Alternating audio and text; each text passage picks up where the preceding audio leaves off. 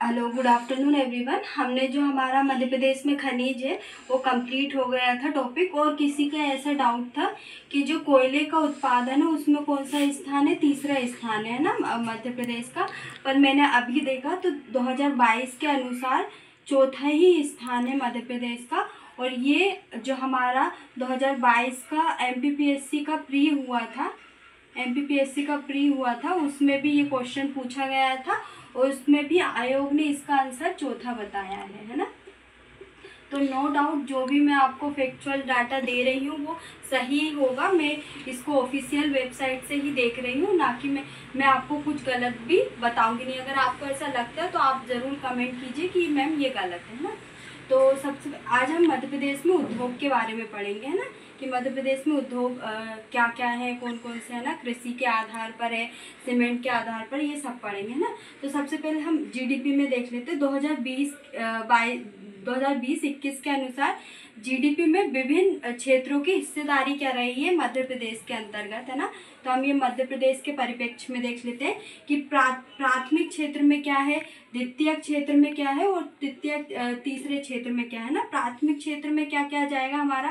कृषि आ जाएगा खनन से संबंधित आ जाएगा मत्स्य पालन से संबंधित आ जाएगा। तो इसमें हम क्या 2020 और 21 के अनुसार अगर देखें तो कि, कितने परसेंट हिस्सेदारी रही? 46.98 परसेंट हिस्सेदारी रही। मतलब आप जो एमपी है वो क्या है? कृषि प्रधान देश है हमारा वो कृषि प्रधान राज्य है कृषि कृषि ज़्यादा होती है ना यहाँ पे तो कि, कितनी हिस्सेदारी है जीडीपी में? Forty six point nine eight percent हिस्सेदारी ये क्या है? 2020 और 21 के अनुसार है। अगर हम इसको 2019 और 20 के अनुसार देखें तो पहले कितनी हिस्सेदारी थी? Thirty four point five nine percent हिस्सेदारी थी। मतलब आप आप आपको पता है कि हिस्सेदारी क्या हुई? बड़ी है ना? क्या हुई है? बड़ी है हिस्सेदारी, है ना? और दूसरे क्षेत्र में क्या आ जाएगा? हमारा विनिर्माण क्षेत्र आ जाएगा। इसमें क्या हमारे उद्योग धंधे आ जाएँगे शामिल? इसमें क्या 2020 और 21 के अनुसार कितनी है? तैतीस पॉइंट पचपन परसेंट है हिस्सेदारी जीडीपी में।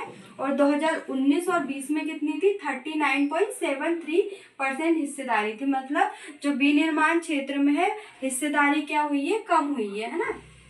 और तृतीय क्षेत्र में इसको क्या बोलते हैं? सेवा क्षेत्र बोलते हैं। तीसरे क्षेत्र को क्या बोलते हैं? सेवा क्षेत्र भी बोलते हैं। जैसे जो प्राथमिक क्षेत्र उसको कृषि क्षेत्र बोलते हैं। सेकंड को क्या बोलते हैं? विनिर्माण क्षेत्र। और तीसरे क्षेत्र को क्या? सेवा क्षेत्र बोलते हैं। 2020 और 21 में कितने परसेंट हिस्सेदारी रही थी? रही है? उन्नीस पॉइंट फोर सेवन परसेंट हिस्सेदारी और 2019 और 20 में कितनी है? आ, कितनी थी? Twenty five point six eight percent मतलब ज़्यादा थी। इसमें भी क्या हिस्सेदारी कम हुई है। और सबसे पहले कृषि में सबसे ज़्यादा बढ़ोतरी हुई है। बाकी दोनों क्षेत्रों में क्या गिरावट आई है है ना? विनिर्माण क्षेत्र में भी और सेवा क्षेत्र में भी।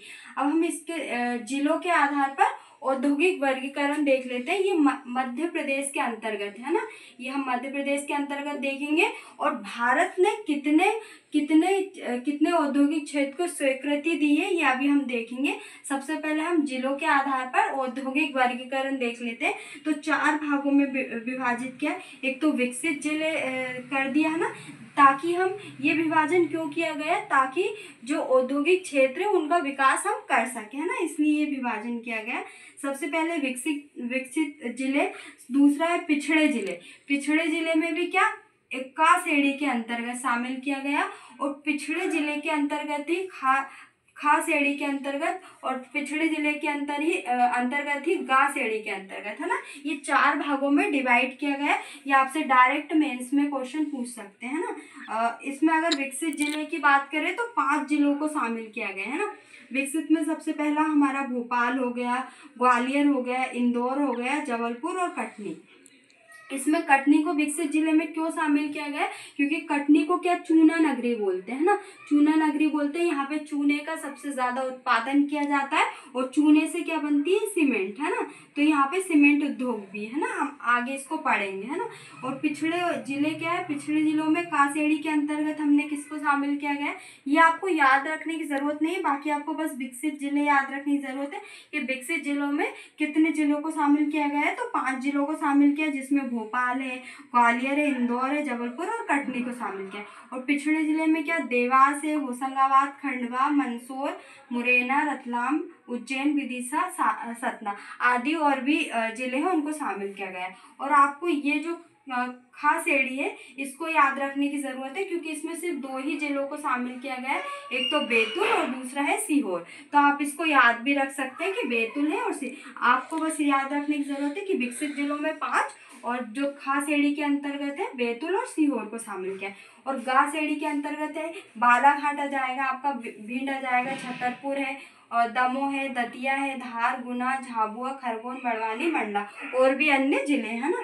अब हम ये देखते हैं कि केंद्र सरकार द्वारा किन औद्योगिक क्षेत्र को स्वीकृति या स्वीकृति प्रदान की गई है? तो छह औद्योगिक क्षेत्र को क्या स्वीकृति प्रदान की गई है? हम इसके जो औद्योगिक क्षेत्र है, वो भी हम देखेंगे। सबसे पहले हम ये इसके जो छह क्षेत्रों को छह औद्योगिक क्षेत्रों को स्वीकृति प्रदान की गई है केंद्र सरकार द्वारा वो देखते हैं। सबसे पहले पीथमपुर। पीथमपुर ये कहाँ पर है? धार के अंतर्गत आता है। धार का ये इंदौर के इंदौर के आसपास है तो ये देख सकते हैं ना। यहाँ पे जो पीथमपुर है, सबसे ज़्यादा यहाँ पे ऑटो सेक्टर का काम होता है ना? सबसे ज़्यादा ऑटो उद्योग का ज़्यादा काम होता है तो पीथमपुर, धार, दूसरा पुरेना पन्ना के अंतर्गत, है ना? पुरेना क्या? पन्ना का औद्योगिक क्षेत्र, है ना? पुरेना पन्ना का औद्योगिक क्षेत्र है और मालनपुर किसका औद्योगिक क्षेत्र है? भिंड के अंतर्गत आता है। मालनपुर किसका? भिंड के अंतर्गत। और फोर्थ है मनेरी मनेरी किसके अंतर्गत आता है? मंडला के अंतर्गत, है ना? और पांचवा है मेघनगर। मेघनगर किसके अंतर्गत आता है? झाबुआ के अंतर्गत। और लास्ट है पीलू खेड़ी ये किसके अंतर्गत आता है? राजगढ़ के अंतर्गत। मैं आपको अच्छे से आप ये बता देती हूँ, क्योंकि ये बहुत इंपॉर्टेंट है। सबसे पहले क्या हमने पढ़ा? पीथमपुर। पीथमपुर ये कहाँ पे? धार में आता है ना? धार इंदौर में, है ना? उसके बाद है पुरेना।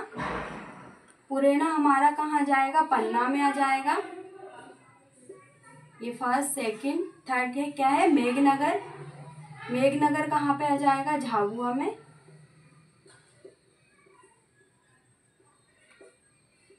मेघनगर के बाद पीलू खेड़ी। पीलू खेड़ी कहाँ पे आ जाएगा? राजगढ़ में। और पांचवा कौन सा है हमारा? आ, मनेरी। मनेरी मंडला में आ जाएगा। और छठा कौन सा है हमारा? यह हमारा मालनपुर, है ना? मालनपुर। मालनपुर कहाँ पे आ जाएगा? भिंड में, है ना? यहाँ पे सबसे कम वर्षा होती है ना? मालनपुर कहाँ पे? भिंड में। तो ये हमारे केंद्र केंद्र सरकार द्वारा स्वीकृत जो औद्योगिक क्षेत्र है, वो हैं छः और ये जो हमारे एम हो गए एम हो गए, पटवारी और अदर एग्ज़ाम में बहुत इंपॉर्टेंट क्वेश्चन है। उद्योग से कहीं ना कहीं क्वेश्चन बनते ही है। जैसे आपसे ये भी पूछ सकते हैं कि प्राथमिक क्षेत्र में कितनी हिस्सेदारी है ना? दूसरे क्षेत्र में कितनी हिस्सेदारी है? सेवा क्षेत्र में कितनी हिस्सेदारी है ना? और औद्योगिक क्षेत्र जो केंद्र सरकार द्वारा स्वीकृत क्षेत्र है उसका विशेषकर आपसे पूछ सकते हैं कि पुरैना कहाँ पर है? तो पुरैना पन्ना में है, मेघनगर कहाँ पे है? झाबुआ में, क्योंकि इसमें कंफ्यूज हो जाते हैं स्टूडेंट कि कहाँ पर है ना? तो आपको जो ये छह औद्योगिक क्षेत्र हैं, वो तो आपको याद करना ही है। या आपको याद होना ही चाहिए कि आपको डायरेक्टली ऐसा ही मुँह जुबानी होना चाहिए कि पीथुमपुर कहाँ पर है, धार में, पुरैना कहाँ, पन्ना में, मेघनगर कहाँ पे झाबुआ में, पीलूखेड़ी कहाँ पे राजगढ़ में मनेरी कहाँ पे झाबुआ में, मालनपुर कहाँ पे भिंड में, है ना? तो आपको ये छः तो याद ही होने चाहिए।